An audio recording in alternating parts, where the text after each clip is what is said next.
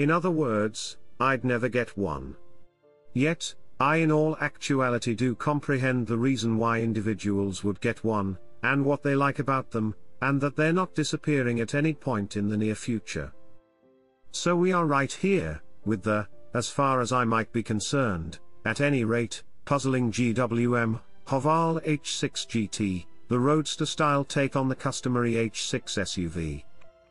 Be that as it may, this one is different to some other SUV roadsters I've tried, in light of the fact that it has a shockingly open secondary lounge with regards to headroom. Furthermore, from certain points, I figure it's very attractive.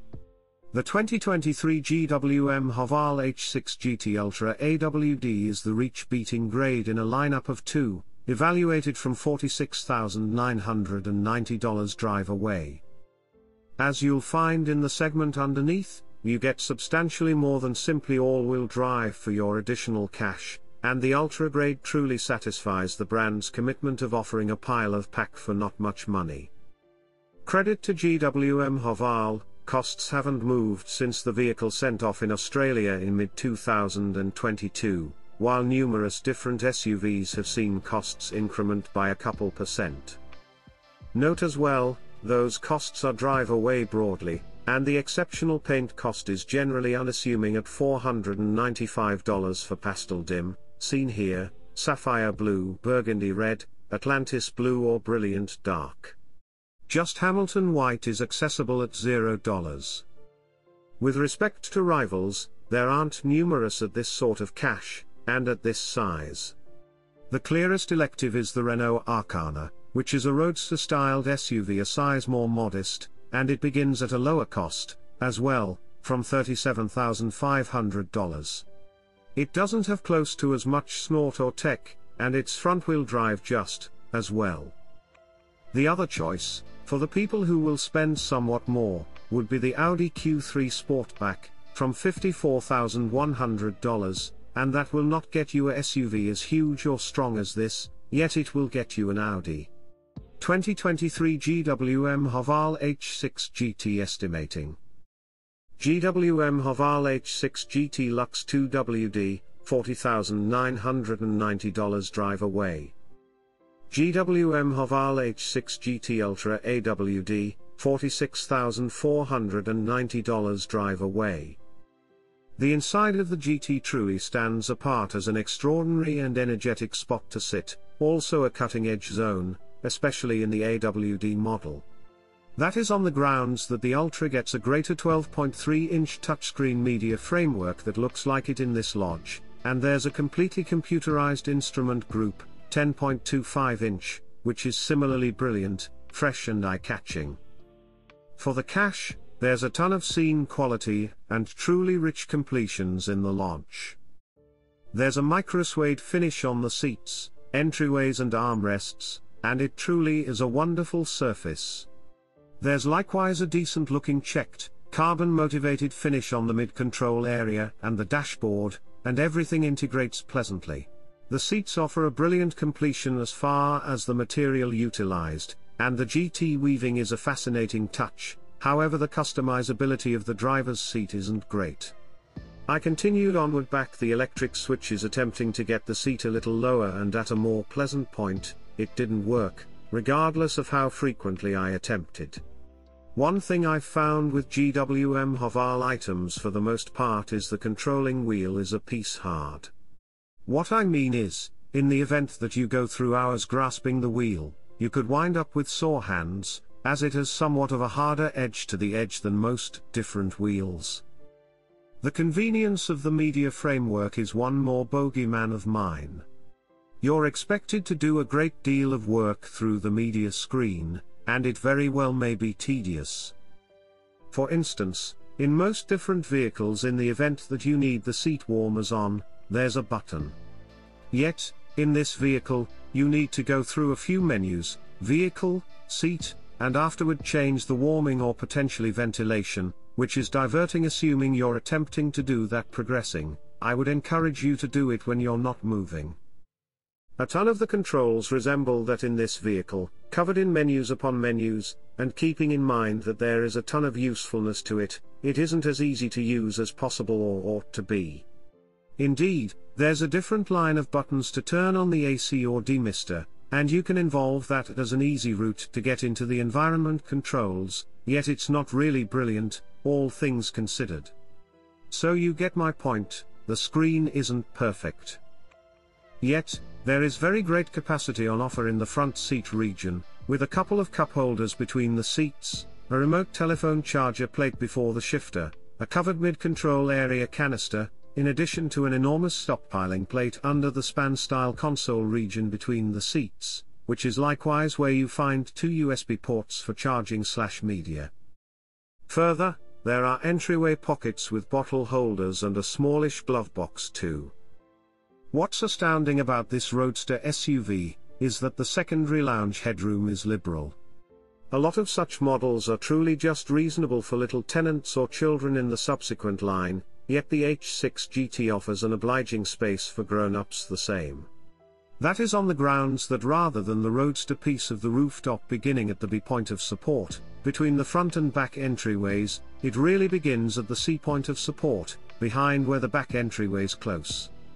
That implies it has extensively more headroom than it could somehow have been supplied with, and it's an appropriately reasonable family choice therefore. In addition to the fact that there is great headroom, there's likewise adequate leg and foot space, and enough width across the back seat to permit three grown-ups to sit next to each other, as well. Furthermore, dissimilar to a lot of different vehicles in this fragment, the secondary lounge is really comfortable, it has a lot of springiness to it, meaning you sit in it, not on it.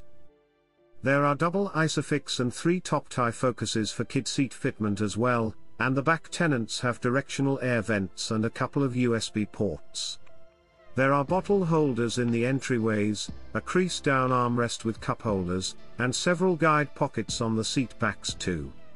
Boot space, be that as it may, is limited contrasted and the normal H6. The GT is said to have 392 litres of freight limit, meaning the boot is around 208 litres less, or 53%, than the H6 SUV.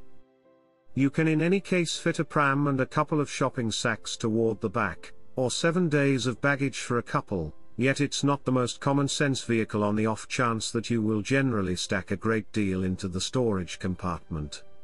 There is a space saver spare wheel under the boot floor. The H6 GT is accessible exclusively with a 2.0-litre turbocharged 4-chamber petroleum motor creating 150 kilowatts of force, 6,000 to 6,300 revolutions per minute, and 320 newton meters of force, 1,500 to 4,000 revolutions per minute. While those results appear to be a little moderate as the vehicle weighs somewhere in the range of 1,570 and 1,680 kilograms, it feels significantly perkier than those results propose.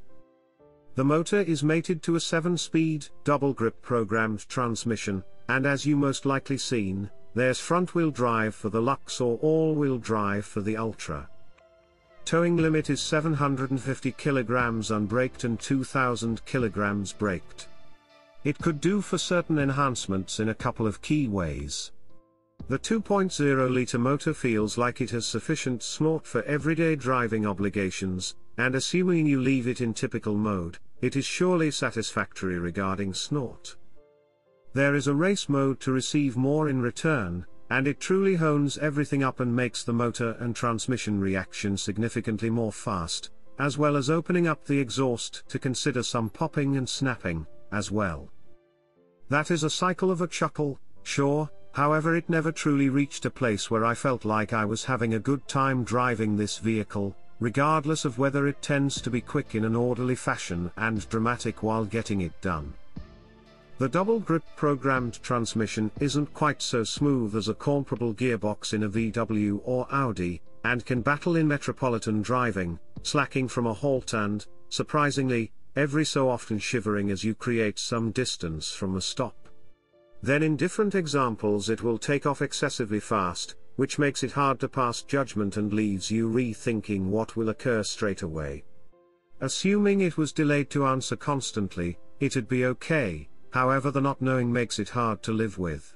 Its everyday drivability is additionally hampered by the stuff selector, it's a rotational dial shifter, however dissimilar to a large portion of that breed the H6's one doesn't have a plug on it, so you will wind up whirling it and not exactly realizing which stuff you're in until you peer down to find out. It could sound minor, yet attempt a 5-point turn on a tight road in a rush, and you'll understand how irritating this can be.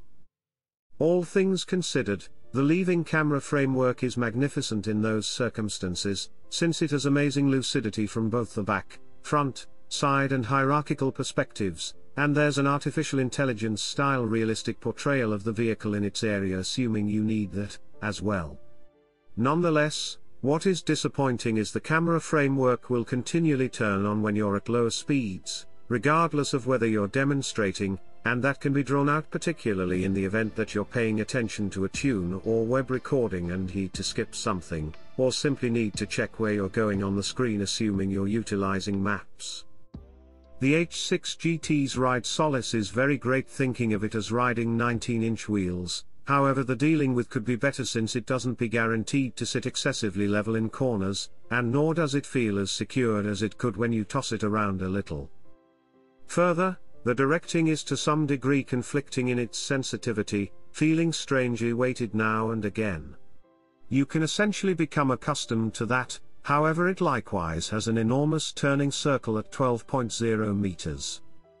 All in all, in the event that you're moving forward from a 10-year-old Captiva or Foreigner, this will feel like the best vehicle you've at any point driven. In any case, I've driven each rival in this section, and it's off by a long shot for the cream of the crop. Of course. Very much like the remainder of the H6 lineup, GT forms have the most extreme 5-star ANCAP security rating in view of 2022 tests. It scored 90% for grown-up tenant insurance, 88% for youngster inhabitant assurance 73% for weak street client security and 81% for well-being help. The GWM Haval range wears a 7-year, limitless kilometer guarantee, which is about all that you can get without perusing the fine print. There's a 5-year emergency aids program included from buy 2, and 5 years of covered cost overhauling. The assistance spans are a year slash 10,000 kilometers for the main visit, then consistently or 15,000 kilometers from there on.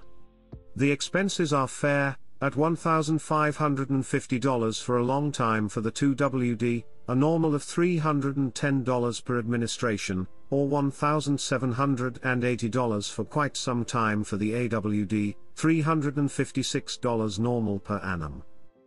With respect to fuel utilization, the Lux 2WD has an authority joined cycle fuel use figure of 7.5 liters per 100 kilometers, while the Ultra AWD claims 8.4 liters slash 100 kilometers.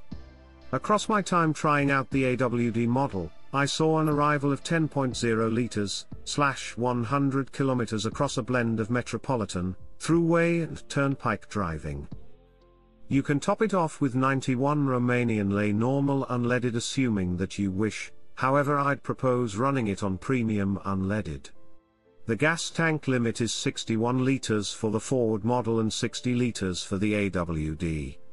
The GWM Haval H6 GT feels practically like an incomplete task.